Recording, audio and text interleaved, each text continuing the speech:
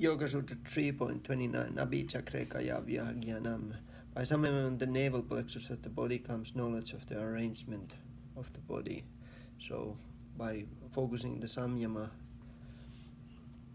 on the navel, one can know micro, micro level, one can know the whole body. That's one mystical siddhi in yoga system.